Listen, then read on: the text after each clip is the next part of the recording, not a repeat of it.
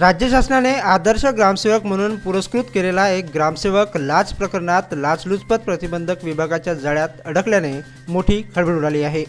संदीप सब्बनवार असे या ग्रामसेवकाचे नाव आहे. तो चंद्रपूर जिल्ह्यातील सावली तालुक्यातील वाह्याड बुजुर्ग येथे कार्यरत आहे.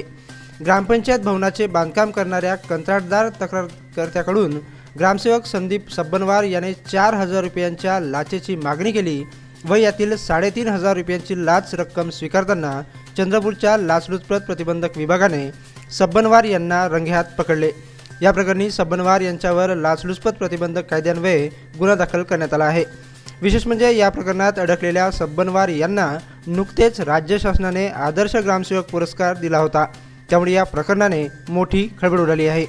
योगेश रामटेके जय विदर्भ न्यूज सावली.